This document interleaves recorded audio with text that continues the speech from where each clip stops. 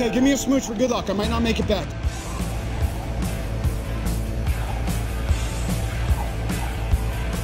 Go get him, boss.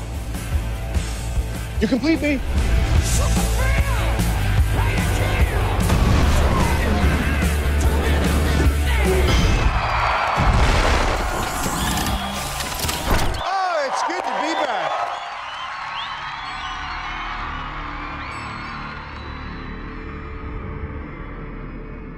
You come from a family of thieves and butchers.